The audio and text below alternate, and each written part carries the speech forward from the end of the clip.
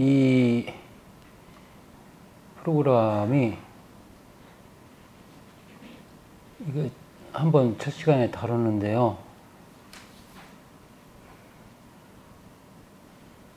이걸 아무리 반복해서 읽어도 부족해요. 거기 다 들어있어요, 여기. 그러니까 이 주제를 택하는데 엄청 신경을 썼고요. 그 다 포괄하고 있어요. 모던과 포스트 모던을. 그런데 지금 오늘 주제는 뭡니까? 다음 주는 추석 휴강이네요. 10월 1일은 임시 공휴일. 네. 다른 아카데미는 수업하던데요. 왜냐하면 이미 강의 계획안을 제출했기 때문에 그걸 휴강해 버리면 주식박죽이 돼 버려요. 그래서 유로유문 아카데미는 수업합니다. 그러더라고요. 잘 생각해 보세요. 왜냐하면 그걸 빼면 어차피 지금 저희가 빡빡한데 마지막에 빠지게 돼요. 그러면 이 기술복제 시대의 예술작품 이거를 그냥 어쨌든 하나씩 앞당겨 아, 아, 아, 늦춰주게 되는구나 늦춰주게. 자, 오늘 디킨스의 어려운 시절이네요. 이거 이 소설이 전체를 다 말해주고 있어요 첫 주제가 정말 중요한데 소설이거든요 제가 그 헌책 구할 수 있는 그 정보를 올려놨죠 그래서 어떻게든 구해 보시고 사실 강의 자료집 1권은 그거하고 앵겔스 책이기 때문에 차라리 그 헌책을 샀으면 좋았을 걸. 이거 예, 5천 원, 7천 원 그러더라고요. 근데 더 비싸게 어쨌든 이렇게 만들어졌습니다. 그래서 이 장남수 번역이 뛰어나요. 그리고 해설이 너무 잘 돼 있어요. 그래서 이런 게 책 정보인데요. 여러분들 인문학 지식이 책 정보하고도 직결돼 있어요. 그리고 책정, 어, 그러니까 어떤 책을 읽으면 좋아요? 하고 묻는 학생들이 많거든요. 그런 사람들. 그거는 답변을 할 수가 없어요. 왜냐하면 끌리는 걸 아무거나 자꾸 읽어봐. 그러면 이 영, 영어로 말하면 reference라고 하는데 그거 읽다 보면 그 사람의 다른 책 아니면 그 거기서 언급되는 거, 연관되는 거 자꾸 책이 늘어나요. 그래서 저는 지금 읽어야 할 책 목록이 한 500권 있어요. 근데 500권 중에 한 100권은 수시로 바뀌어요, 계속. 한 몇 개월 단위로 계속해서. 왜냐하면 이미 읽었거나 아니면 옛날 거 이제 치우거나 그래서 새로운 정보 들어오면 그걸 그래서 알라딘 그게 책 정보 자기 뭐라고 하는지 까먹었는데요. 그런 사이트가 있어요. 그래서 내 걸 지금 예, 만들어 가지고 계속 거기서 돌립니다. 그리고 학생들과 그 스터디 할 때 책 목록도 거기서 취하고 그렇습니다. 예.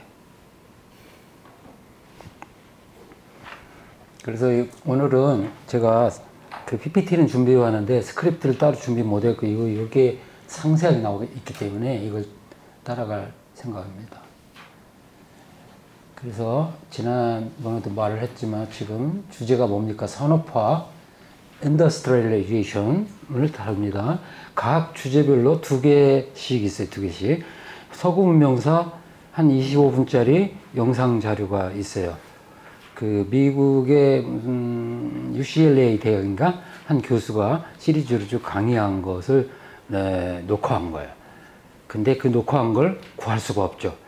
그걸 녹화한 것이 이화여자대학교 중앙도서관에 있더라고요. 그런데 그건 불법이에요. 그죠? 여러분들 외국에서 찍은 영상을 TV 같은 데 보잖아요. 그럼 다시 보기 돼요? 안 되죠. 네. 그걸 방영은 할 수 있지만 방영권은 있지만 그거를 재생할 수 없어요. 다시 그거를 예, 저작권 문제가 있기 때문에 그래서 이화에 대해서는 그걸 어떻게 해서 구해놔 가지고 그게 들어있더라고요. 그런데 그게 불법이라는 걸 알았죠. 예. 그런 불법이 그냥 예, 가득해요.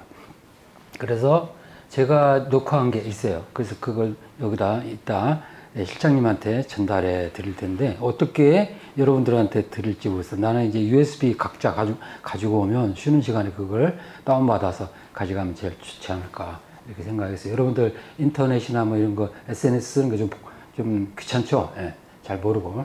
예. 그래서 그런 생각을 했는데 다른 방식이 있는지 한번 고민해 보겠습니다.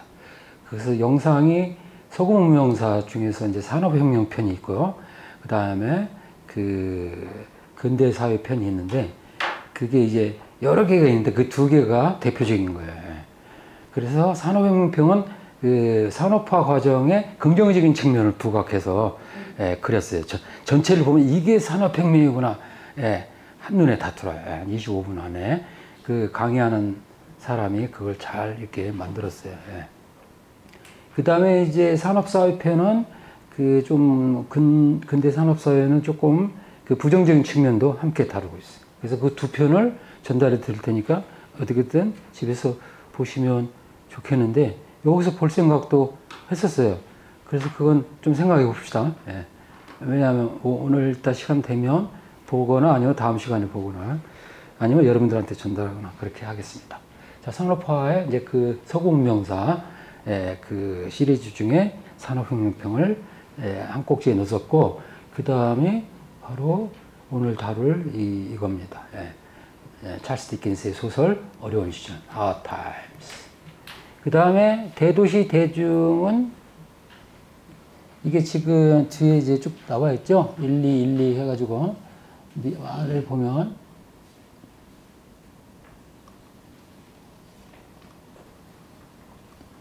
그래서 여러분들이 돈 주고 비싼 돈 주고 샀는데요. 그 어디 펴서 읽으면 좋아요. 예.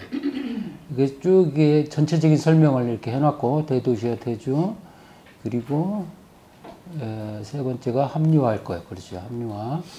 그 다음에 소외 물화. 새로움의 충격. 여기까지가 모더니티. 예.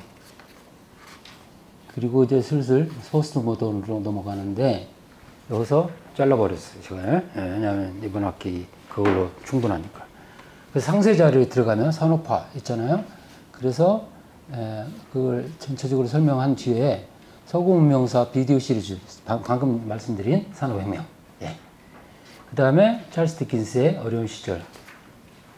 자, 흥미로운 게 이 시대를 위하여라고 딱 부제를 붙였어요. For these times. 이거 이따 설명드릴게요. 왜 이런지. 그래서 이제 이거를 다루고 이거에 대한 상세 설명이 끝나고 다음에 두 번째 꼭지가 뭡니까? 주제가 아이고 여기 안 나왔구나. 이제 두 번째로 가면 음 뭐였죠? 대도시 대중. 네, 대도시 대중이 또 나오고요. 네. 그러면 거기에서 이제 에, 지금 대도시 그러니까 지금 디킨스 말고 또 하나 있어요. 여기 이어서 앵겔스의 영국 노동자 계급의 상태 1845년에 나왔고요. 그로부터 3년 뒤에 공산당 선언이 나와요. 공산주의자 선언이라고도 하는데요.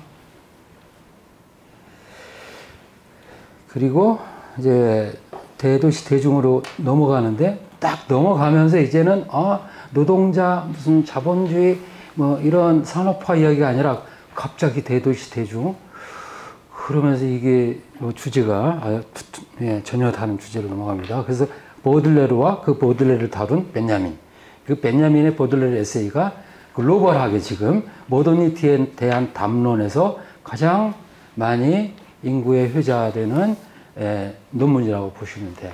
그 논문의 양은 별로 많지 않을고 여러분 강의 자료 좀 훑어보셨나요? 그러니까 책을 사, 사놓고 그냥 모셔두면 아무 의미가 없어요. 자꾸 보고 지금 막 해질 정도로 보다 보면 나중에는 이 강의 안 들어왔대. 여기 다 있네. 다 읽어보네. 그렇습니다. 그래서 강의라는 게 그래요. 여러분들이 여기 강의 들으려면 강의 자료가 있어야 하잖아요. 그래서 우리는 강의 자료집을 만들었어요. 그러니까 모더니티를 그 보여주는 원전 텍스트들, 예, 원전 텍스트들을 모아놨어요. 그 다음에 거기에 대한 해설을 여러분들은 강의록이라고 해가지고 예, 이미 받았어요. 강의록 제가 20년 동안 쓴 거예요. 어, 여기저기서 이제 막 긁어 모으고 아무튼 막 어렵게 어렵게 써가지고 한 번도 출판한 적이 없는데 이게 모노리티에 대한 제 강의록이 아무튼 알짜배기.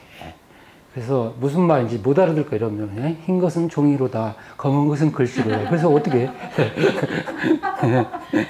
컴맹이 있듯이 컴퓨터가 앞에 있으면 사놓으면 뭐예요 쓰지 못하는데 예. 참고로 제, 제 아들은 지금 나이가 한 40 가까이 됐는데요. 한, 하나 있어요, 아들. 걔는 컴퓨터 전공은 아닌데 취미로 컴퓨터를 해가지고 좋아해가지고 한 거죠. 근데 컴퓨터 프릭이 돼가지고 걔는 키보드를 안 써요, 키보드. 아니다. 마우스를 안 써요, 마우스. 네, 키보드로만 타타타타타. 눈에 안 보여요. 근데 다 화면 바꾸고 막 할 일 다 하더라고요. 그래서 그 친구한테 많이 배우는데 필수적인 거 몇 개만 배우면 돼요. 여러분들도 어려움이 있을 때 누군가 옆에 잘 아는 사람이 이걸 이렇게 해봐, 저렇게 해봐. 그래서 한 서너 가지만 배우면 정말 유용해요. 정말. 네. 음, 그런 식으로 뭔가에게 몰두하면 거기에 전문가가 됩니다. 네. 그래서 여러분들 예, 책을 그렇게 읽어야 돼. 근데 예, 그래서 이제 어, 강의 자료집이 있고 그걸 해설한 강의록이 있고 그다음에 뭐가 있어요? 제 강의가 있죠. 이 세 개가 지금 다 연결되어 있어요. 왜냐하면 책만 봐서는 무슨 말인지 몰라요. 그죠?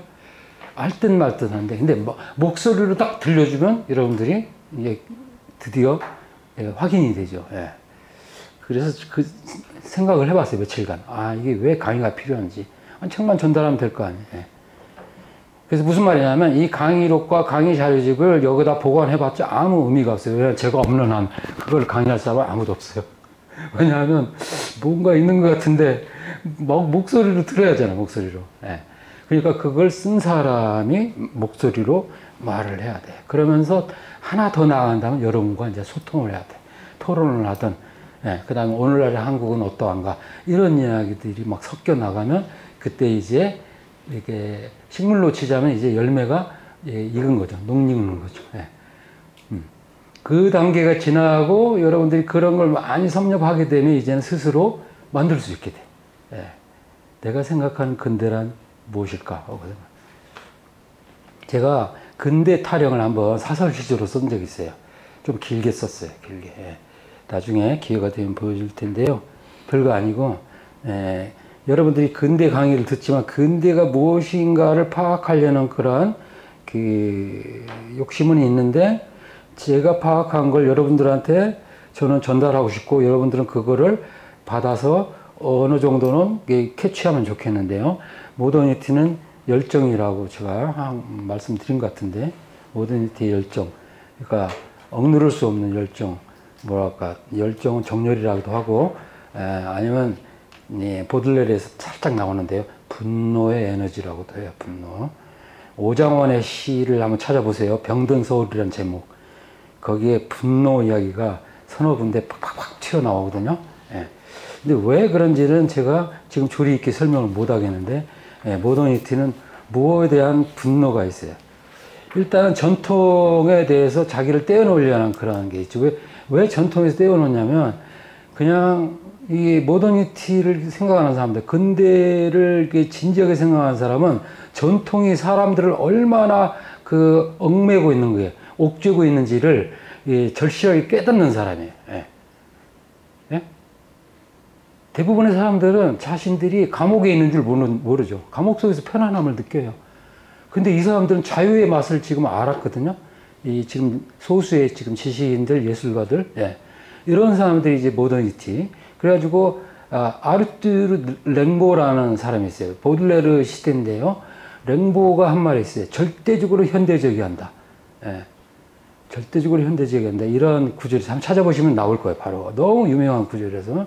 그래서 사회 각처에서 예, 제도나 뭐 습성, 문화, 예, 문학 형식 모든 것에서 이게 과거의 것을 이게 예, 철폐하고 새로운 걸 시도하려는 그런 것들이 막 그 에너지가 막 용수음치 나오는데 전통은 계속 끌어당기잖아. 계속 폄하하고 음해하고 미쳐요. 이 지구를 떠날 수는 없고 같이 공유해야 하는데 그죠?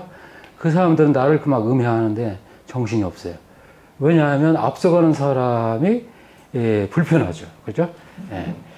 그래서 이제 앞서간다는 건 이제 진보라고 말할 수 있는데 어쨌든 모던을 추구한다는 건 진보적 정신에 예, 부응하는 겁니다.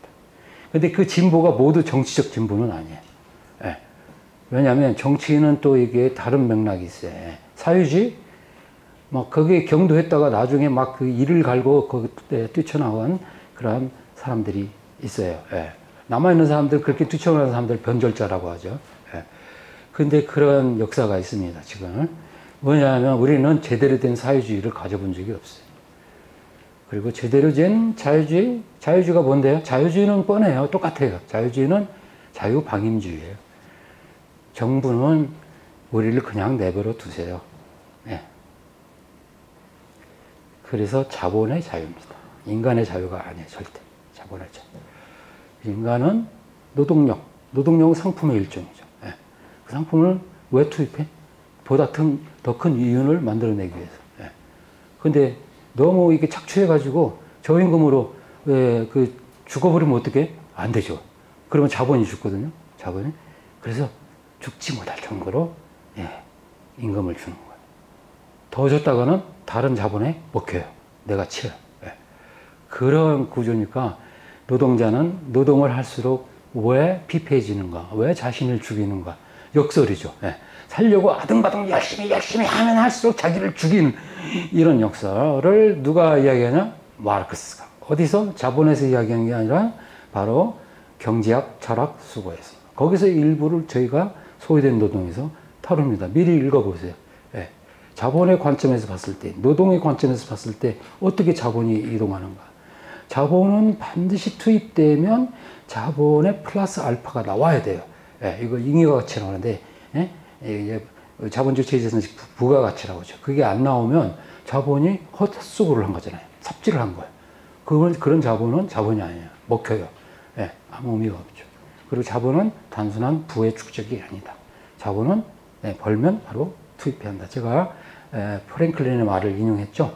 오늘 5실링을 벌 수 있는 사람이 일하러 가지 않고 집에서 그냥 에, 에, 놀았다면 그 사람은 5실링을 잃어버린 게 아니라 5실링으로 벌 수 있는 50실링, 500실링을 잃어버린 셈이다. 길에다 내버린 셈이다. 너무 무슨 무슨 말이죠. 그게 자본주의 핵심을 말하는 거예요. 자본주의는 바로 자본은 축적이에요. 축적.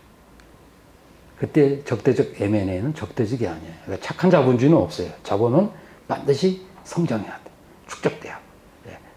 이런 맥락이 지금 흐르고 있는데 어쨌든 대도시 대중으로 가서는 살짝 부르주아 세계로 확 돌아가 가지고요.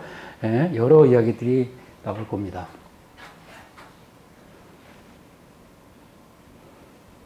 예. 다시 한번 별거 아니지만 저는 가만 생각해 봤어요. 예, 강의 원전을 읽어라. 누가 입문서 이렇게 안내서로 써준 건 좀 치워라. 예, 내가 원전과 대결하라.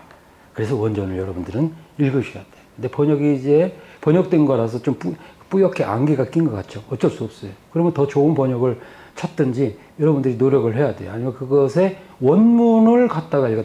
번역은 원문을 대체하지 않아요. 원문을 이해하는데 도움이 되는 보조 도구예요. 근데 여러분들 어, 이게 번역된 걸 읽고 다 읽었다 생각하면 절대 오산이에요. 원문을 봐야 돼. 원문 그 원문이 근데 독일어로 되어 있는데 그럼 독일을 독봐야 돼. 그럼 없는데 그만 영업은 할 수 없이. 우리나라 글은, 우리나라 글은 그 다음에 신뢰할 수 있어요. 그래서 한 50% 이상 그냥 안개가 확 깨어 있다니까요. 그걸 읽고 이해한다는 게 기적이잖아요. 언어의 기적입니다. 우리가 읽고 이해한다는 거. 더구나 지금 100년 전, 200년 전 이야기를 지금 읽고 이해한다는 게. 그렇죠? 1800, 50년 만에 지금 우리가 쓴 걸 다루고 있거든요. 오늘 시대순으로 쭉 내려가거든요. 쭉 시대순 으로. 포스트 모던 지금 주제는 안 다뤘습니다. 시대순으로 쭉 내려가는데, 예, 그래서 오늘날까지도 이렇게 이어집니다. 그런데, 예, 우리나라 사람들은 그 열악한 그 번역을 많이 접하다 보니까 그걸 거슬러서 혹은 필터링해서 읽는 능력이 발달한 것 같아. 예. 내지는 대충 대충 이해하면 됐지 뭐 그렇게 시골골 상세하게 이해할 게 뭐 있어 이런 식으로 해서 여러분들도 보면 한 학기에 이 모던이 무엇인지를 지금 본질을 파악하려고 왔으니까 욕심쟁이들이야. 예. 도저히 안 되거든요. 저는 20년 했는데도 잘 모르겠거든요. 예. 근데 여러분은 한 학기 해치기 때 엄청난 그 열정이죠. 예. 한국인들의 열정입니다. 이거는 제가 아이러니하게 말하기도 하지만 긍정적으로 지금 긍정적인 의미에서도 말한 거예요. 한국 사람들의 교육열은 정말 뛰어나요. 유대인들, 이스라엘 유대인들하고 버금간다고 생각해요. 그래서 이렇게 짧은 시간에 엄청난 산업화, 근대화를 이뤘고 지금 세계로 뻗어나가잖아요. 예. 앞으로는 이 지식 분야에서 이제 뭐 스포츠, 스포츠나 이런 연예 분야 말고 지식 분야에서도 이게 뛰어난 사람이 나오기를 기대합니다. 한국에서. 예. 그러면 예, 이제 본격적으로 들어갈게요. 일단은 음, 저기부터 아, 읽어볼게요. 저기 이스테를 위하여. 여러분들 강의록을 봐도 돼요. 예. 거기서 왜냐하면 여러분 여기 띄워놨지만 강의록을 그대로 읽을 거거든요. 제가 이걸 PPT로 만들려고 생각하니까 이거 한 며칠 한 3, 4일 걸릴 것 같더라고요. 예. 저는 지금 이번 학기 학기 초에 어쩌다 보니까 좀 바빠요. 그래가지고 어, 못했어요. 오늘 하려다가 절망감에 사라지겠다. 아, 이 PPT는 있으니까 이것과 이렇게 번갈아 가면서 하면 되겠다. 해서 왔습니다. 양해해 주시고, 아, 강의록이 충실하게 되어 있으니까 강의록 중심으로 오늘은 나갈게요. 네? 강의록 제가 말씀드릴게요. 지금 어디냐면요. 21페이지. 네, 21페이지 상세 버전, 상세 자료. 예. 읽어볼게요. 에, 여기입니다. 여기 좀 내려가면 페이지 수도 나오나? 네. 그렇죠? 나와요. 예, 이, 어, 28로 되어 있네. 다르다. 그죠? 저희랑 조금 다르네요. 좀 달라요. 네. 음, 21페이지. 예, 예, 예. 21페이지입니다. 찰스 디킨스, Hard Times for These Times. 산업화에서 생겨나는 갈등들을 비판적이면서 화해적인 태도로 다룬 소설. 이 비판과 화해는 반대의 의미죠. 예. 어, 근데 바- 비판하면 비판하지 왜 화해를 해? 이거 알게 될 거예요, 여러분들. 찰스 디킨스는 그냥 사회주의자가 아니에요. 그냥 따따 때려 부수라 하고 막 노조 지금 위원장이 아닙니다. 예, 노동자들의 그런 열악한 상황을 고발을 하는데 이거를 에, 너무 정치화시키거나 사회화시키지 않고 어떻게 인간의 휴머니즘에 호소하면서 그거를 에, 해결하려고 했어요. 이게 대부, 디킨스만의 생각이 아니라 당시 대부분의 독자들, 응? 좀 가난한 사람은 노동자고, 좀 부유한 사람은 먹고 살만하면 이제 중산층이라고 하고요. 예, 부르주아지죠. 예. 이런 사람들의 보편적인 심리였을 거예요. 예. 그러니까 노동운동에 대해서 별로 좋게 생각하지 않았어요. 대부분 사람들이. 예. 근데 나중에 이제 아시게 되겠지만, 그거는 환상이었어요. 예. 화해란 불가능해요. 화해란. 그래서 나중에 디킨스 저기 예, 마르크스가 제1 인터내셔널을 구축하게 되죠. 망국의 노동자여 단결하라. 예. 어쨌든 읽어 나갈게요. 그래서 화해를 하려고 했습니다. 작가 디킨스는 디킨즈라고 쓰기도 합니다. 사실과 지성만을 승성하고 감성과 상상력을 억압하는 당시의 공리주의 또는 자유주의 이데올로기에 대한 비판적 입장을 숨김없이 드러낸다. 작가는 노동자 집단의 희생을 딛고 진행되는 산업화 과정의 문제를 날카롭게 파헤치면서 이를 유머, 풍자, 반어, 아이러니죠. 등 풍부한 언어적 수단을 동원해서 형성한다. 인간성이 호소하는 화자에게서 교화적 태도가 다분히 느껴지지만 전반적으로 리얼리즘적 묘사에 충실하다. 화자는 인물 시점 외에도 전지적 시점을 자주 취한다. 스티븐 블랙풀이라는 노동자가 있는데 이, 이 사람은 투쟁을 통해 문제 해결을 도모하는 당시 노동운동의 거리를 취하는 노동자로 그려진다. 그 때문에 작가는 당시 노동운동을 폄하하고 왜곡하고 있다는 비난을 받기도 했다.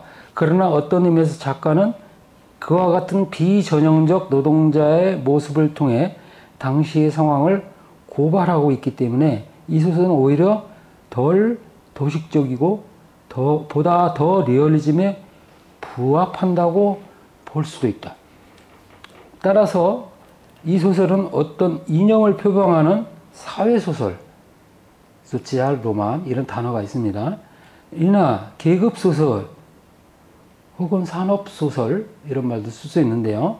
이 아니라 산업화 현실 을 있는 그대로 그린 묘사한 리얼리즘 소설로 돋보인다. 리얼리즘은 19세기를 풍미한 사조예요.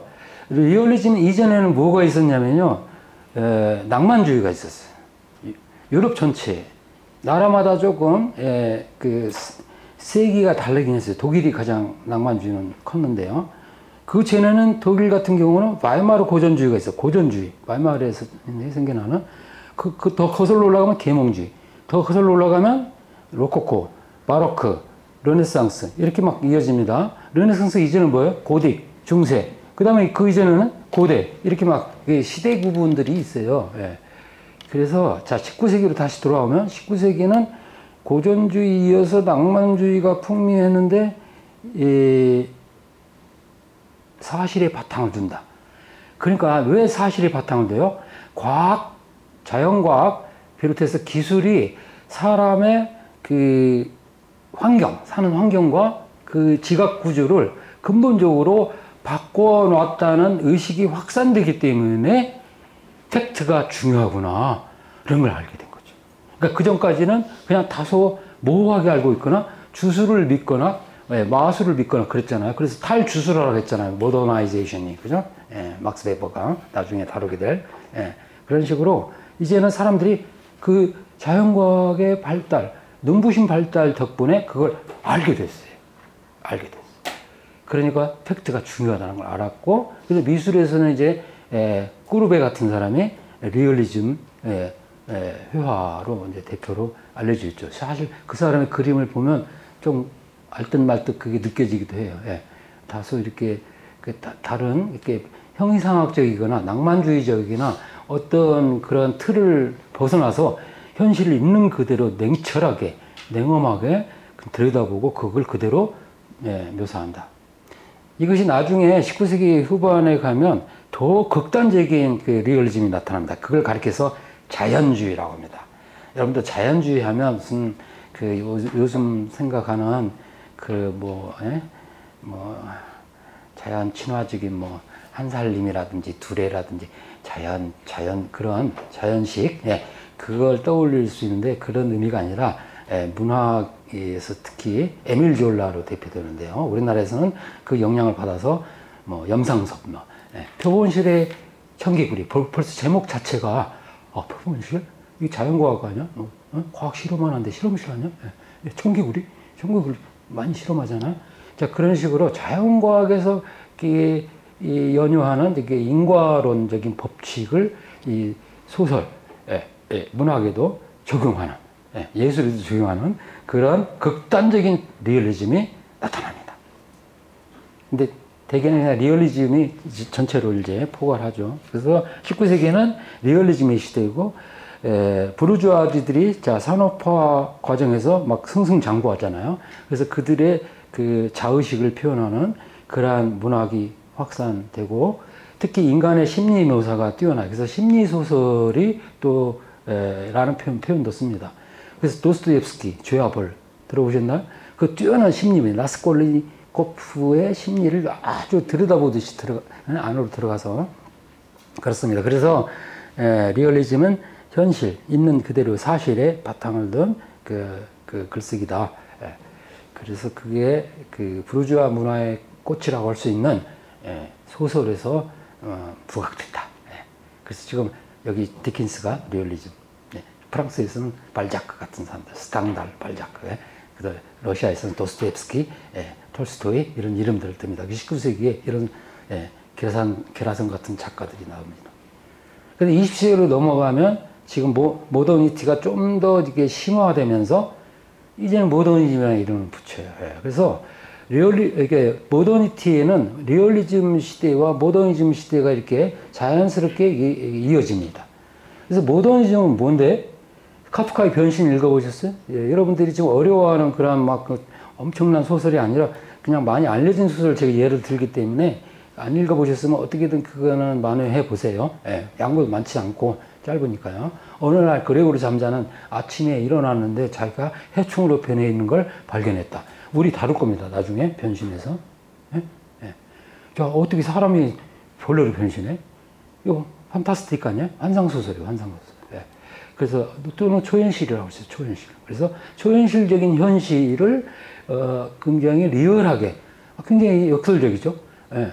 그러니까 그 그리는 그 대상은 굉장히 초현실적인, 환상적인 그러한 에, 장면인데 그거를 정치한 리얼한 수법으로 예.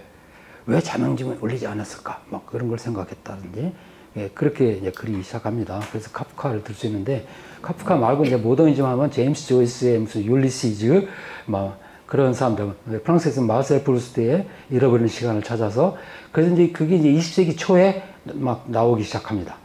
자 그런 사람들을 총칭해서 모더니즘이라고 불러요. 그 오늘 모더니즘 좀 다뤘었죠.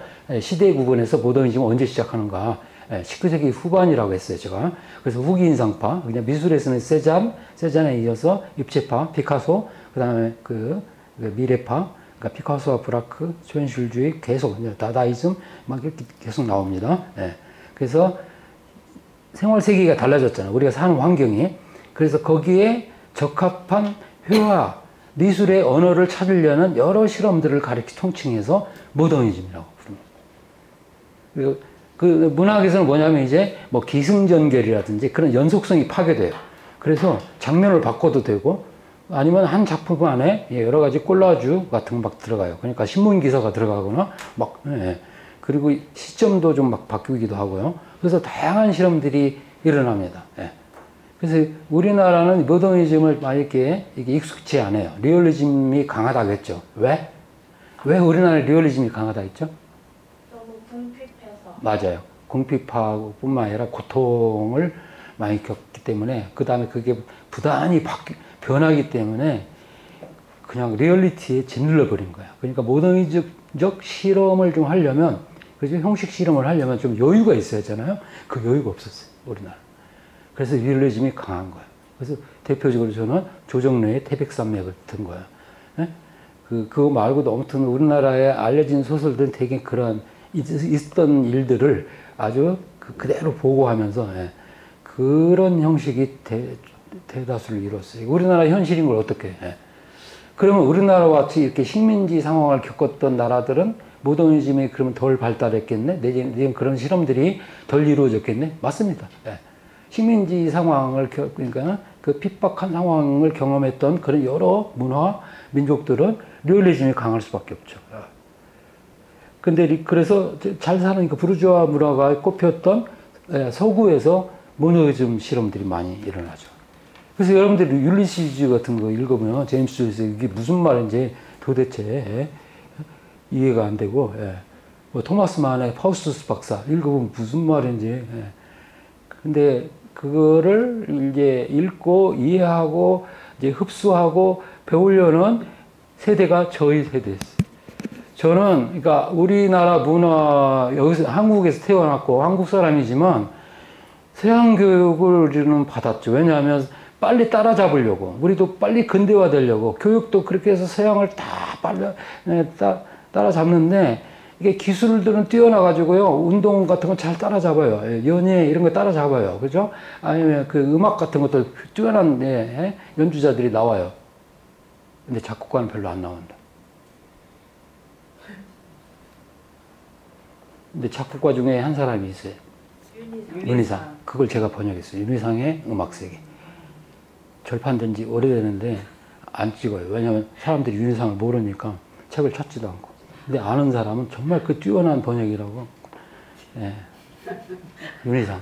윤희상의 음악세계. 그거, 윤희상은 전 세계적으로 예, 아방가르드, 지금도 예, 전 세계적으로 가장 많이 라디오나 이런 걸로 매체를 타고 있어요. 예. 그 우리나라 사람만 몰라요. 예. 낙양, 여러분들 그거 안 들어봤죠? 무궁동, 예? 아니면 광주의 영혼이 들어봤어요? 북한 교향악단은 많이 그 이데올로기적으로 이용해가지고요. 거기서는 많이 연주해요. 예. 그런 비극이 있어요. 그러면 왜? 윤희상이 이게 남북 통일을 위해서 조금 북한도 많이 왔다 갔다 그러니까 예.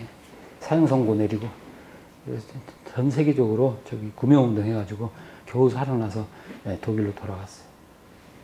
그리고 국적을 버렸어요. 한국 국적. 지긋지긋해. 한국 사람들 지긋지긋해. 근데 사람에 대한 한국 풍경에 대한 그리움은 죽을 때까지 갖고 있었어요. 이 사람이 통영 출신이야. 그래서 통영 국제음악제가 제가 알기로 윤상 때문에 생겼어요. 근데 그 통영 시민들을 인터뷰를 삽입한 영화를 본 적이 있어요. 미국, 아, 저 독일의 여성 감독이 만든 영화인데요. 거기 보니까 막 그 통영 사람들의 이야기가 나오는데 지금도 그 부인, 윤상 부인 이수자 여사가 살아 계세요. 나이가 90이 훨씬 넘었을 텐데요. 예. 그 그냥 빨갱이 때려 죽일 놈이라고 말하는 사람도 있고 아 훌륭한 우리나라가 나온 세계적인 위대한 음악가라고 말하는 사람이 있고. 이렇게 지찍게 있어요 우리나라 지찍게 있어요 그 어쨌든 그런 그 윤희상 하면 예, 시- 세계 10위 안에 들어요. 예. 그 벤데레츠키 메시양 제가 번역하다가 리게티 이상윤 이상윤은 바로 나와요 그리고 예, 미- 베를린 예술대학에서 교수로 오래 있었고요. 예. 그 예술대학에 시험 보려면 이렇게 오, 오, 오디션을 해야 돼요. 예. 근데 필수 과목이 뭔지 아세요? 윤희상이 작곡한 필이에요. 필이라는 제목의 곡이 있어요. 한 5분 정도 연주하나? 그걸 연주해야 돼요. 오보에로. 오보에가 가장 필이에 가까워요. 그럴 정도로 예, 윤희상은 거기 예술대학에서 음악대학에서 아주 그냥 예, 그 대표, 대표 하는 이름이었죠. 근데 우리만 몰라, 우리만. 그 작곡가 중에서도 덜어 있어요. 화, 화가로서는 이육로 화백이 있어요. 예? 그리고 백남준이라는 사람. 백남준은 그나마 이제 우리한테 알려졌죠. 근데 이게 뭐가 북, 북한하고 관계된다 하면 철저하게 검열당하는 그런 시대예요.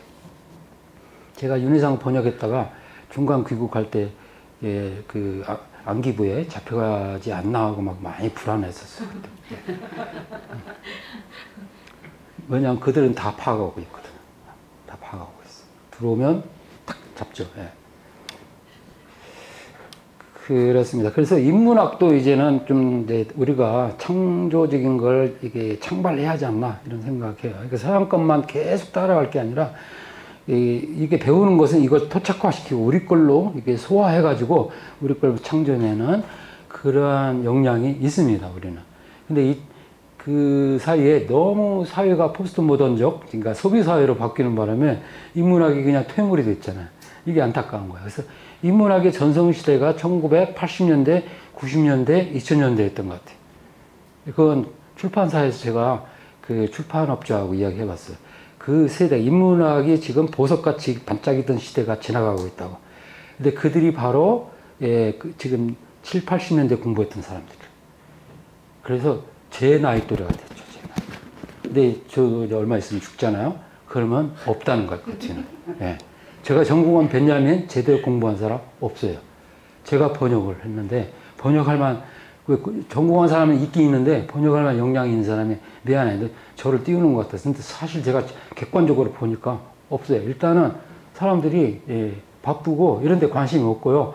예, 빨리 후다닥 이렇게 요식행위로 그냥 논문 만들어내고 그런 데 관심이 있고, 이렇게 진지하게 번역할 사람이 없어요. 근데 다른 학자들도 마찬가지일 거예요. 예, 하이데거 번역한 사람 제대로 번역한 사람 있어? 헤겔 번역한 사람 있어? 칸트 번역한 사람 있어? 예, 헤겔 전집이 없어요 우리나라. 예. 근데 헤겔 그 논문 쓴 사람은 그렇게 많아. 그 왜 그럴까? 번역하면 논문을 저기 점수를 안 줘요. 그리고 그러면 돈이라도 벌면 되잖아요. 번역해가지고 여러분들이 안 사요. 뭘 봐요? 인스타그램 이런 거나 보고요. 책 안 사요. 그래서 예, 그, 그러면 안 찍어요. 그러면 다 팔리잖아요? 그러면 중세를 찍어야 하잖아요? 안 찍어. 왜? 이거 다 팔리려면 10년 걸려. 그럼 자고는 돌아야 돼. 그래서 눈물을 머금고 안 찍어요. 그런 훌륭한 번역들이 곳곳에 있습니다. 여러분, 알아보세요. 왜 안 나와요? 출판에 물어보면, 예, 장- 영업성 때문에 안 팔리니까. 예. 그러니까 500부 찍잖아요. 그러면 한 50부, 100부 팔리고 그 다음에 안 팔린다. 쭉 떨어진대. 제가 이번에 쓴 벤jamin 연구, 예. 이거 처음에 막 한겨레에서 띄우고 막 뜨다가 그, 그게 1인 출판사 제- 제자가 그거를 하거든요. 물어보니까 없어요. 주문이. 그러니까 우리나라의 그 저거 냄비 근성인가 봐. 쫙 뜨다가 막, 그그 교보문고에서 15권 주문했어요. 한- 예, 알라딘이 30권이요. 막 처음에 나가다가 또 끊어졌어. 그럼 나중에 몇백 편은 그냥 남아서 나중에 어떻게 그냥 폐지, 폐지로 가죠. 좀 제가 과장했는지 모르지만 맞는 현실일 거예요, 지금. 그래서 인문학이 더 죽는 거예요. 독자들은 책을 읽는 대신에 편안하게 앉아서 예, 예, 영상을 보려고 해요. 예. 그러니까 영상을 너무 많이 보다, 보니까, 보다 보니까 자기가 많이 알고 있다고 착각해요. 예. 그러니까 또 이게 단문을 많이 쓰잖아요. 아실 거예요, 이 문제. 그래서 긴 글을 못 읽어요. 긴 글을 못 읽는다는 것은 사고를 할 능력이 없다는 거예요. 단발성으로 반발하고. 예. 게다가 이제 사회가 많이 자극을 주기 때문에 에, 버럭 하는 버럭하고 반발. 막 꺼져버리고 막 막. 예. 그렇게 순간적으로 그, 그 순발력은 많이 늘었는데요. 지속 가능하게 꾸준히 생각하고 그걸 수정해 가면서 막 그렇잖아요. 그걸 자기의 사- 피와 살로 가져가려는 그 노력을 할 만한 여건이 안 돼서 일단은 너무 경쟁이 치열하고요. 예. 너무 사회가 그- 그쪽으로 이렇게 피곤하게 하니까 이제 스포츠나 저도 집에서 맨 그 TV나 보면 스포츠나 이쪽으로 왜냐하면 너무 정치 이야기, 이 구린, 구린 이야기들이 너무 많아가지고 그냥 돌리다 보면 결국 도달하는데 스포츠 그런 데더라고요. 예. 그래서 이게 이게 이제 시대 정신이고요. 베냐민은 이걸 집단적 무의식이라 했어요. 여러분은 모르죠. 예, 여러분 집단 속에 있으면서 무의식적으로 따라서 하는 거예요. 유행을 꼭 쫓아서가 아니라 이걸 베냐민은 집단적 무의식, 칼 구스타프 융이 했던 말과 비슷한데 융은 파시즘으로 기울었고요. 베냐민은 반대쪽이야. 예. 바이마르 공화국 시대에 그 철학을 두 기둥을 어떤 사람이 쓴 논문을 하는데 한 기둥은 두 기둥이 있다. 한 기둥이 하이데거 기둥이고 다른 한 기둥이 베냐민이다. 베냐민은 유대인이고 살아있을 때 무명의 작가였고 하이데, 하이데거는 프라이부르크 대학 총장이었죠. 잘 나갔죠. 근데 뒤도 이제 한참 시간이 지난 뒤에 와이마르 공화국 시대 1918년에 태어나서 1933년에 나치가 등장하면서 몰락한 그 짤막 짧았던 민주주의 시대를 바이마르 공화국이라 합니다. 그 시대에 문화적으로는 융성했어요. 문화적으로.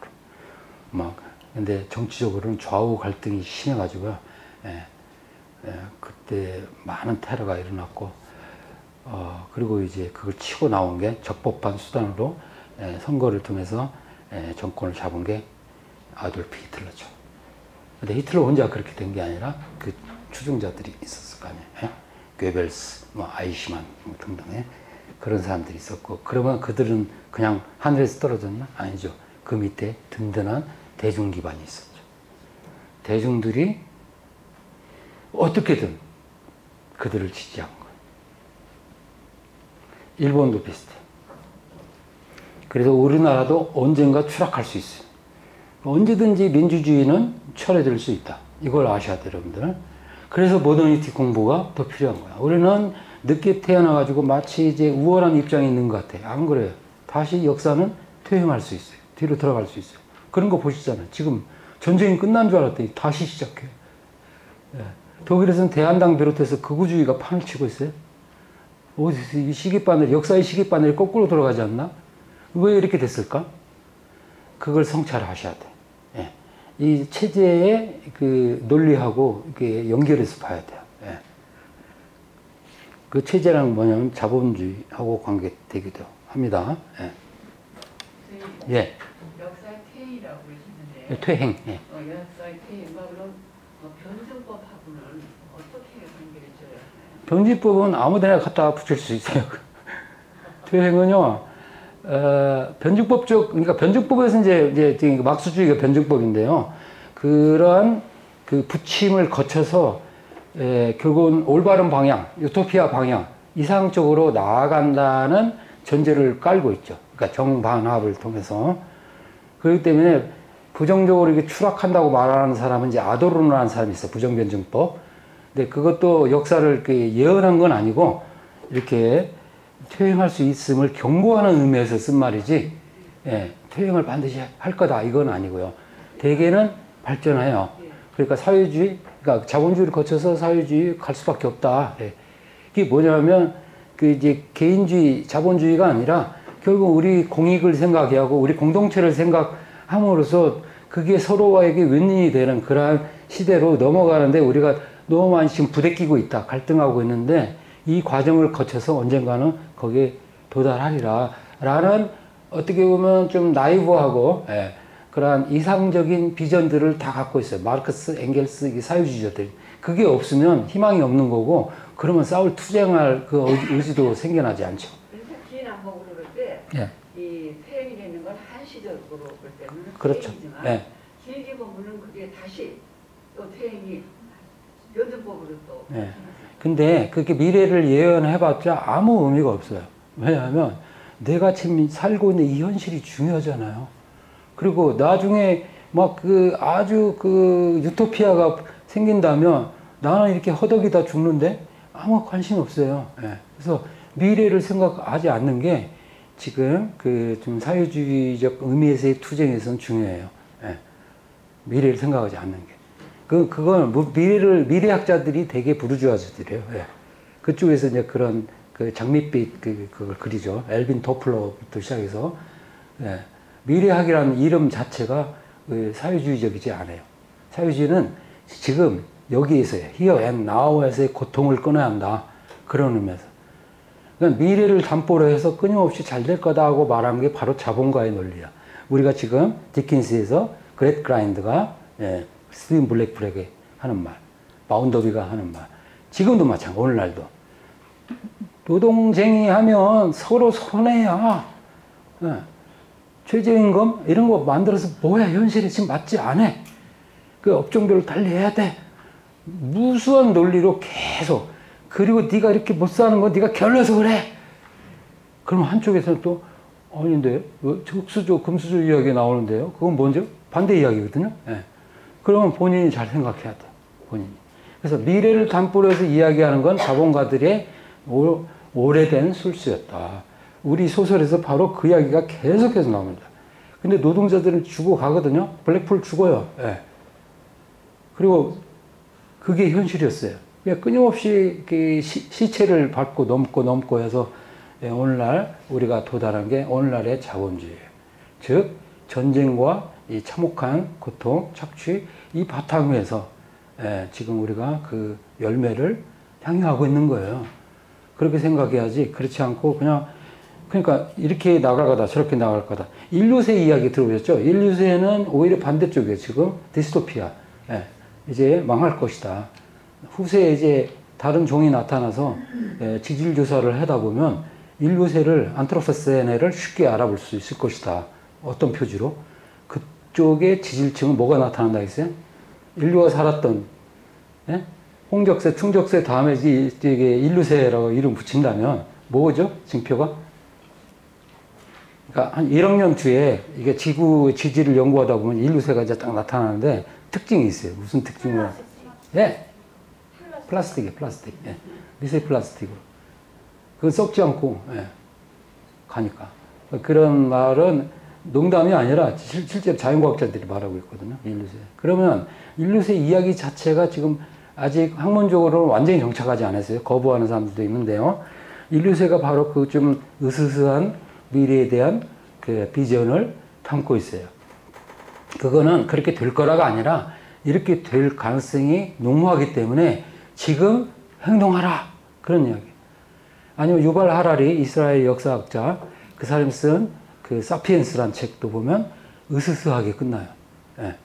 그것도 그렇게 끝날 거라는 그런 비관적인 예언이 아닙니다.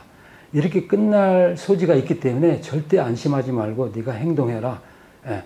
각성해라. 그런 의미예요. 그러니까 예언은 믿지 마세요. 어떤 예언도 없어. 미래는 다 열려 있어요. 우리가 하기에 따라. 그래서 지금 불행과 행복 이게 이게 맥동한다고 했는데 그건 뭐 나중 시대에 돌아왔을 때 그런 거고 그 시대를 살았던 사람한테는 고통을 겪을 견딜 수가 없죠. 예. 아, 앞으로 잘 될 테니까 네가 1세기 지나면 잘 될 거거든. 지금 자- 잘 되지도 않았거니와. 이 뭐- 그렇죠? 잘 됐나요 지금? 우크라이나 사람들 지금 죽을 지경인데, 그죠? 예. 그래서 제가 이렇게 열정적으로 말하는 이유는 이 모더니즘에 대한 열정이기도 하고요. 예, 저희 성향이에요. 그리고 제가 모르겠어 꼰대처럼 보일지 모르지만 이 나이에 그런 정도의 확신에 도달하지 않았으면 그냥 설렁설렁 살아왔다는 뜻이죠. 그러니까 저는 단단해요. 얼마 전에 작고한 그 노벨 문학상 수상 작가 오에 겐자부로 아세요? 일본 작가. 예. 그 사람은 반핵 운동에 아주 앞장섰고 그 사람이 앞장서면서 한 이야기가 너무 단순하면서 의미심장한 이야기예요. 예. 나는 이제 죽을 날이 얼마 안 남았다. 젊은 사람들 미래가 있잖아요. 그래서 나 같은 사람 나가서 지금 앞장서서 이게 경찰이 잡아가도 나는 별로 두렵지 않다. 왜냐하면 내 삶은 실컷 살았고 그래서 나는 투쟁에 앞장선다. 그 사람은 일본 위안부 그 일본군 위안부 문제에 대해서도 이거는 남성 중심주의 문제다. 라고 결국은 한국에 손을 들어준 그런 발언까지 했어요. 그리고 그 장애를 겪고 있는 아들 위해서 헌신도 하고 그래서 도덕적으로 좀 음, 뛰어난 사람 같아. 그 사람이 소설에서 우울한 나이인가 어디선가 썼는데요. 68년 무렵 전공투 무렵에요. 에, 대학가를 그린 장면이 나오는데요. 벤자민의 역사 철학 태제를 같이 세미나에서 공부하고 있어요. 그게 묘사되어 있어요. 그러니까 베냐민은 1968년에 한나 아렌트에서 영어로 처음 번역되면서 일본도 동시에 수용됐다는 뜻이죠. 일본어도. 한국은 그로부터 10년이 지난 뒤에야 소개되기 시작해요. 중국은 또 그로부터 10년 지난 뒤 에, 천안문 사건 그때 처음 베냐민의 기술복제 논문이 번역됐다고 그 일본, 에, 중국 친구가 에, 알려주더라고요. 그래서 이렇게 delay가 있더라고요. 그러니까 한국은 일본보다 10년이 뒤처진 거야. 그로부터 10년 뒤처진 게 중국이고요. 예. 근데 어쨌든 일본은 그때 이미 선진국이었어. 똑같았어요. 그러니까 미국에서 번역, 영어로 번역, 영역되는데 일본어로 번역이 똑같이 나온 거야. 어, 나 깜짝 놀랐더니 그 장면이 나와요. 역, 사적 테제를 같이 읽으면서 토론하는 장면이 예, 묘사되어 있더라고요. 예. 그렇습니다. 어쨌든 여러 얘기가 섞였는데 그 미래에 대한 그 진단은 그별 의미가 없고 제가 보기에는 현재를 지금 진단해야 돼. 현재. 그 내가 지금 이 자리에서 뭘 할 수 있는가 그게 중요합니다. 그래서 제가 한 단락을 읽었는데 좀 이해가 됩니까? 거기 전지적 시점이 뭔지 아세요? 이건 옛날에 안 썼던 말인데 예, 원래 이제 용어로는 썼어요. 근데 요새 이런 것이 뭐 영화에도 나오고 하니까 이제 알게 됐죠. 예. 전지적 시점이라는 건 모든 걸 전, 전체를 지, 안다. 예. 전지적 시점을 가지려면 어떻게 해? 높은데 전체를 내다볼 수 있는 그 시점을 가져야 돼요. 그러니까 디킨스의 이 소설에서 화자가, 화자는 또 작가하고 다르거든요. 화자가 전지적 시점에서 말을 해. 그래서 독자한테 말을 걸어요. 예. 그걸 이제 나중에 들여다 볼 겁니다. 작품 해설로 들어갈게요. 벌써 제목에서 그러니까 1854년에 출간된 소설 벌써 제목에서 시대 소설임을 분명히 드러내고 있는 이 작품은 디킨스가 19세기 후반 시작되는 기계의 시대, 대중 시대를 고발하는 프로그램적 저술이라고 칭할 수 있다. 이 시대에 사회적 불평등과 합리주의적 사유가 만연한다. 노동운동의 미래에 관한 토마스 카라일의 논문들과 찰스 킹슬리의 사회개혁적 저술들에서 영향을 강하게 받은 디킨스는 이 작품에서 맨체스터주의, 극단적인 자유경제주의와 공리주의를 공격하는데 여기서 그는 맨체스터와 프레스턴의 직조공업 단지에서 자신이 직접 관찰한 것을 반영했다. 그러니까 디킨스가 이렇게 시찰도 했어요. 가서 직접 견학도 했어요. 그래서 소설을 쓰려는 구상을 하다 보니까 그렇죠. 직접 현장에 가서 이거 화면 좀 올려주시면 화면을 예, 예. 알겠습니다.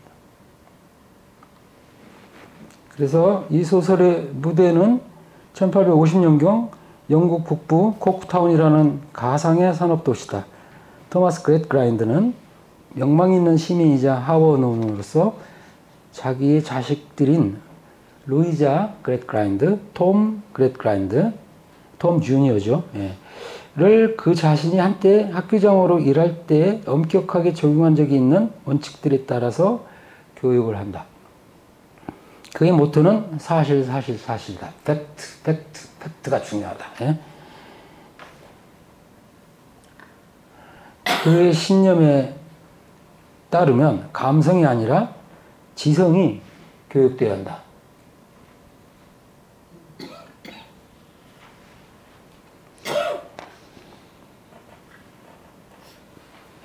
삶을 살아가기 위해 정신과 상상력이 아니라 숫자와 통계에 대한 지식과 사실들이 요구된다는 것이다. 그는 자신의 교육 결과가 자부심에 가득 찬 기대들을 충족하지 못한다는 점을 아이들의 비참한 운명을 보고 나중에야 깨닫게 된다.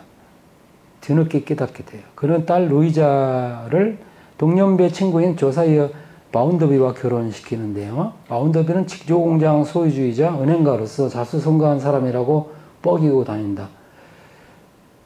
그 따뜻한 마음씨가 아버지의 집에서 위축되어 버린 루이자는 부모가 정해준 이 결혼을 거부할 이유를 찾지 못한다.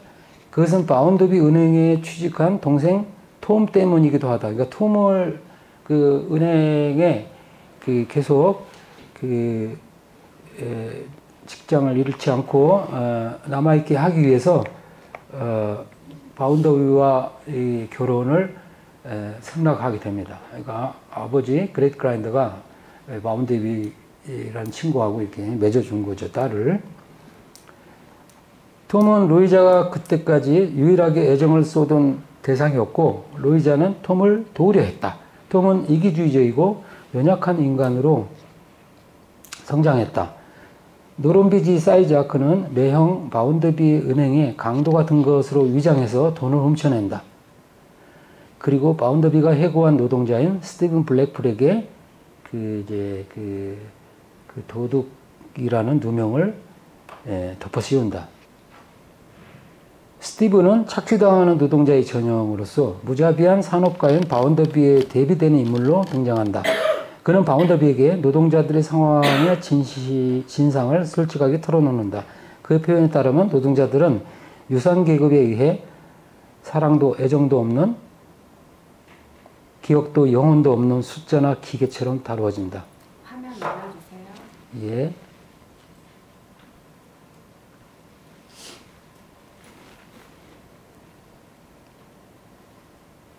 뿐만 아니라 스티브는 그의 공장 동료들의 미움을 받게 되는데 그것은 그가 노동운동 내부의 선동가들을 경고했기 때문이다. 그러니까 이 공장, 바운더비 경영하는 공장에서 노동운동이 있는데 에, 스티브는 거리를 둬요. 거기 참여하지 않아요. 톰이 진짜 범인이라는 사실이 나중에 이제 밝혀져서 마지막 순간에 아메리카로 도주하게 되는데요. 그 전에 늙은 그렛 그라인드의 교육 원칙이 그의 딸의 경우 그러니까 루이자가 불행해졌잖아요. 그래서 잘못되었다는 것이 드러나요.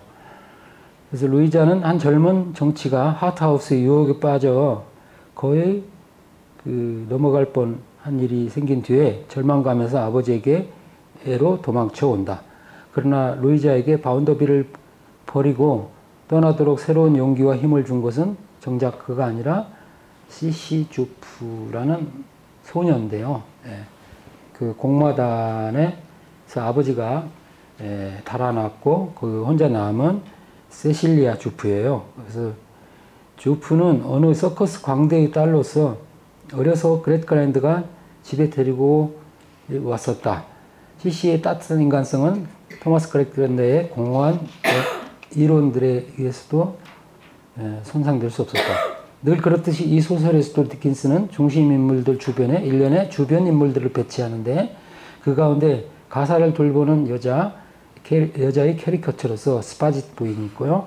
바운더비의 모친으로 나중에 드, 판명되는 페글러 부인이 있고 페글러 부인은 바운더비가 예, 밑바닥부터 이제 성장한 것이 아니라 정상적인 양친의 집에서 성장했다는 사실을 폭로함으로써 바운더비의 그 신화, 성공 신화, 자기 우상화에 에, 종지부를 찍죠.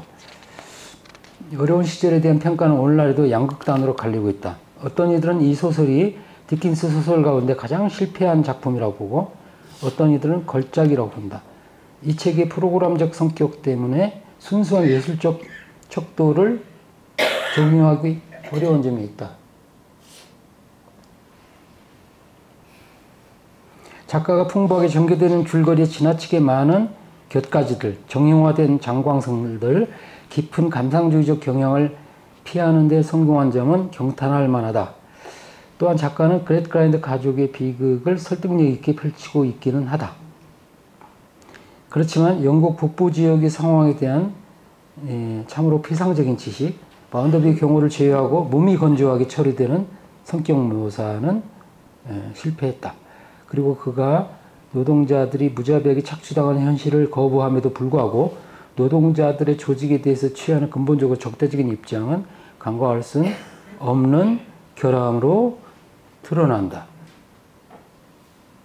그래서 일단 줄거리를 지금까지 읽은 건 해설이고요. 이게 킨들러 렉시콘이거든요. 예, 전 세계적으로 가장 훌륭한 그 문학 사전이에요. 그래서 전부 책을 합치면 한, 한 6, 예, 5, 60권? 6, 70권 됐는데요. 예, 모든 작품이 다 망라돼 있어요. 그래서 거기서 어려운 시절, Hard Times 부분을 딱, 예, 그거를 가져와서 번역한 거예요. 이, 이해가 잘 됐다면 제가 번역을 잘해서 그런 거예요. 예. 예, 작품 소개 여기까지 읽어볼게요. 토마스 그래드그라인드는 코크타운이라는 산업 도시에서 사실에 대한 교육을 강조하는 학교를 운영한다. 어느 날 그는 그의 두 자녀 톰과 로이자가 상상력을 자극하는 공마단의 공연을 구경하는 모습을 예, 발각하죠. 예. 그 예? 아 예, 예.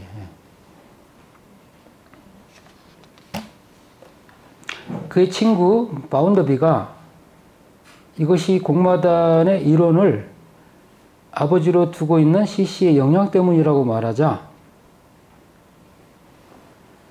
그러니까 CC한테 물들어가지고 이 두 애들이 그 공마단을 들락거린다는 거고 판단하죠.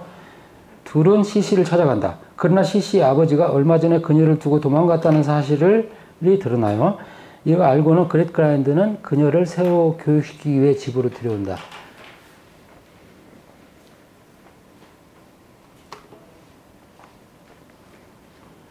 왜 집으로 데려왔을까? 자, 이 점에서 예, 그 당시 부르주아지들의 그 좋은 점이 드러나요. 예. 누구든 교육을 받아야 한다. 누구든 어떻게 죽, 죽게 내버려둬서는 안 되잖아. 그죠? 예. 교육 못 받게 할 수는. 그래서 이게, 이게 이제 뭐랄까. 공리주의 좋은 점이라면 좋은 점이죠. 예. 근데 공리주의 교육의 문제는 뭐냐면 그 당시 산업 사회가 요구하는 노동자들을 양산해내는데 초점을 맞추고 있다는 데 있어요. 그래서 사실, 통계, 이런 것을 강조하는 것도 다 그 연관입니다. 그래서 그거를 지금 고발하는 것이 지금 디킨스 작가죠. 그래서 CC는 학업 성적이 평균 이하이다. 그리고 실제적으로 정확한 측정을 강조하는 그렛 그란드 씨의 도표로 표시할 수 없는 무엇인가가 CC에게 있다는 것을 이제 짐작하는데요. 바운더비는 루이자가 숙녀로 성장하자 그렛 그라인드를 통해 루이자에게 청혼을 한다. 루이자는 50살의 바운더비를 사랑하지 않지만 아버지의 교훈으로 결혼을 수락한다. 내지는 자기 동생 톰이 바운더비가 경영하는 은행에 계속 머물게 하기 위해서 예, 예, 거절할 수 없죠. 거절하면 이제 예, 찬바람이 불 것 같아서 이 소식을 들은 CC는 루이자에게 연민을 느낀다. 이러한 그녀의 감정을 알아챈 루이자는 CC와 거리를 유지하지만 나중에 이제 루이자의 마음의 상처를 이렇게 치유해주는 그 인물로 CC가 이제 결국은 중요한 역할을 합니다. 스티븐 블랙쿨은 술 마시는 아내를 가진 바운더비의 공장 노동자이다. 그는 같은 공장에서 일하는 레이첼이란 동료를 사랑하며 그녀와 결혼할 수 있는 방법을 찾기 위해 바운더비를 찾아가지만 그러려면 지금 술 마시는 아내하고 이혼을 해야 하잖아요. 영국법이 이혼을 금지하는 상황이기 때문에 돈이 없으면 이혼 소송을 할 수 없다는 말을 듣고 실망하면서 돌아간다. 이 1장, 2장, 3장이 파종, 수확, 저장으로 되어 있어요. 파종은 씨를 뿌린다. 대충 여러분들이 이게 이미지를 잡을 수 있을 거야. 이제 수확은 그것이 낳은 결과예요. 톰과 루이자 씨씨는 학교를 졸업한다. 톰은 바운더비 은행에서 일을 하게 되며 루이자는 바운더비와 결혼을 하지만 이제 삭막하죠 생활이. 또한 씨씨는 그래드그라인드 집안에서 이제 그 어, 돌, 도우미 가정 가사 도우미로 예, 예, 그러니까 데려다 키웠는데 이제 그 이제 일을 도와줘야 하잖아 집안 가사를 런던의 국회에서 활동하는 그래드그라인드의 소개로 제임스 하트하우스라는 이 뭐랄까 한량이 나타나요. 이 사람은 바운더비를 찾아오는데 그는 루이자에게 접근할 속셈에서 루이자의 동생 톰과 가까워지려고 노력한다. 스티븐 블랙풀은 노동조합에 들어가는 것을 거부한다. 그러자 다른 노동자들부터 소외된다. 그러나 그는 고용주인 바운더비 밑에서 노조를 고자질하는 대신에 노동자 편을 들다가 해고를 당한다. 그러니까 노조에는 가입하지 않았지만 바운더비 앞에서는 그러니까 이게 이간질 시키는 게 이제 사용자 측에서는 관심이 클 거 아니에요. 그런데 바운 어, 블랙풀은 거기에 넘어가지 않아요. 그래서 오히려 노동자들의 그 편을 들죠. 그러다가 해고당해. 도박으로 많은 돈을 잃은 톰은 바운더비 은행에서 아까 설명했었죠. 돈을 훔칠 계획을 하죠. 그는 떠나는 그 스티븐에게 그 뒤집어 씌우기 위해서 도둑질했다는 그가 은행 주변에 서 있도록 유도한다. 은행에서 돈이 사라지자 은행 주변에서 서성이는 것이 목격된 스티븐이 용의자로 지목된다. 하타우스는 루이자에게 예, 바운더비와의 결혼을 포기하고 자기와 떠날 것을 제안하지만 루이자는 예, 마지막 순간 그녀의 아버지에게로 도망가요. 그래서 그녀가 바운더비와의 결혼으로 매우 불행하며 이것이 예, 사실만을 중, 중시하고 감정이나 상상력을 무시하도록 강조한 그녀의 에, 교육 때문이라고 에, 비난한다. 그러니까 그녀가 받은 교육, 공리주의 교육이죠. 예.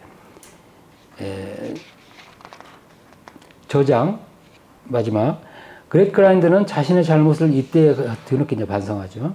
루이자는 씨씨의 간호를 받으며 아버지의 집에서 지낸다. 바운더비의 가정부인 스파짓 부인은 스티븐과 함께 은행의 돈을 훔친 것으로 의심받는 페글러 부인을 찾아서 데리고 온다. 페글러 부인은 결국 바운더비의 어머니임이 판명돼요. 그리고 부모로부터 버림받고 스스로의 힘으로 성공했다고 주장하던 바운더비의 성공 신화는 거짓임이 만천하에 드러납니다. 레이첼은 스티븐에게 그가 의심받고 있다는 사실을 알리고 돌아와서 이제 돌아와 해명을 하라고 전하지만 그러나 스티븐은 돌아오지 않는다. 그러다가 레이첼과 시시가 폐광에 갇힌 그를 발견하지만 그는 곧 숨을 거둔다. 그러니까 도망가다가 결국은 에, 자기를 나는 내가 돈 훔치지 않았다고 이렇게 해명하면 되는데 에, 어려움이 있었어요. 그래서 숨을 거둬요. 톰이 범인임을 알아차린 그렛 그라인드는 그러니까 톰이 자기 아들이죠. 시시와 친분이 있는 공마단 사람들의 도움을 청해요. 그래서 그 사람들의 도움으로 그를 외국으로 피신시키는 데 성공해요. 결국 그릿 그라인드는 그의 교육 방법이 잘못되었음을 깨닫고 믿음과 희망, 동정심이 중요한 덕목을, 덕목임을 인정하게 된다. 그래서 소설을 읽지 않고 줄거리만 들어서는 무슨 말인지 잘 모를 수 있는데요. 그, 예, 필요합니다. 자판이. 예. 그래서 나중에라도 읽으시면 좋고요. 예. 그래서 드디어 드디어 이쪽으로 에, 너무 안 움직이죠. 아 예. 이제 화면을 보니까 조금 생기가 도는 것 같죠. 뭔가 에, 저기 생겼어요. 예, 디킨스. 예, 19세기 영국을 대표하는 작가. 대표작 올리버 트위스트, 위대한 유산, 데이빗 카퍼필드. 예, 어려운 시절 예, 작가로서 대중적 성공을 거둔. 예. 이게 에, 디킨스가 자기 서재에 앉아 있어요. 그 머릿속에 저 수많은 지금 figure들, 에, 인물들이 등장하는 거야. 루이자, 톰, 아, 바운더비, 이 자식, 어, 누구야, 여기 시시네. 이게 이게 구상하는 거야. 예, 작품을 구상하는 장면입니다. 작가는 저렇게 자기가 그린 암- 인물들하고 같이 사는 거예요. 근데 작가가 위대한 게 뭐냐면 A라는 사람과 B라는 사람은 전혀 반대 성격인데 그 양쪽에 다 감정이입을 할 수 있는 그 감정이입의 천재라는 뜻이죠. 그래서 제가 여러분들한테 질문 하나 던질게요. 이건 해답을 찾기가 어려운데요. 자, 명제 1. 작가는 자기 자신에 대한 자의식이 뚜렷한 사람이다. 뭘 하고자 하든지 그 의식이 뚜렷한 사람이다. 2. 그와 반대되는 명제. 작가는 누구에게나 감정이입할 수 있고 미메시스, 미메시스 할 수 있다. 그 사람이 될 수 있다. 그 자기 자신을 떠나는 거야. 그럼 아까는 자기 자신에 사로잡혀 있는 사람이야. 자아식이 강한 사람. 이 두 개가 어떻게 모순 관계인데 그걸 어떻게 해명할 것인가? 작가 의식이 뛰어나 에, 또 추출한 사람이 어떻게 이 사람도 듣다가 저 사람도 듣다가 그 사람은 팔랑팔랑 하네 아무 그 자, 자의식이 없는 애 이렇게 말할 수 있잖아요. 그래서- 속에 다 들어있으니까요. 다 들어있는데 작가 속에 인간이잖아요. 음. 인간의 보편성은 근데 자의식이 뚜렷하다 했잖아. 자기의 의지가 자기가 생각하는 것. 그건 불가능할 것 같아요. 응? 여기 아무리 토스토이가 위대하고 셰익스피어가 위대해도 예. 그 사람들이 셰익스피어가 그 수많은 그 서사극의 그 등장인물들이 나오잖아요. 예.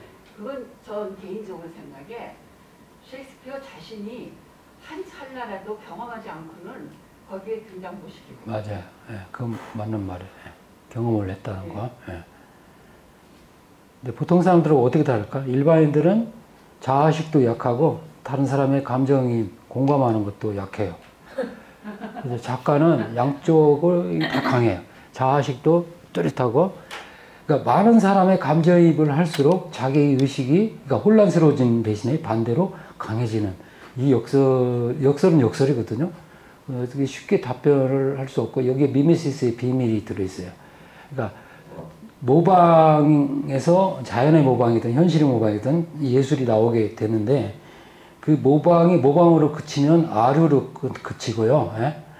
그게 제대로 탁월한 사람일 경우에는 완전히 예, 그 반대로 가죠. 그래서 이건 벤야민이 한 말인데 프루스트가 나, 에, 카프카가 나라고 말했을 때 그 나는 투명한 자아이다.